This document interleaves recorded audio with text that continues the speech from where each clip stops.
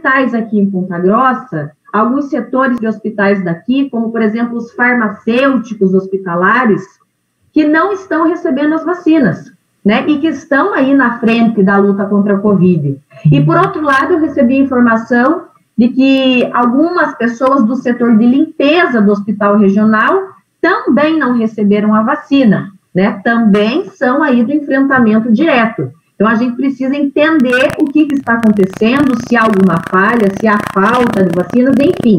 Mas esses profissionais precisam, porque estão aí no enfrentamento direto da doença.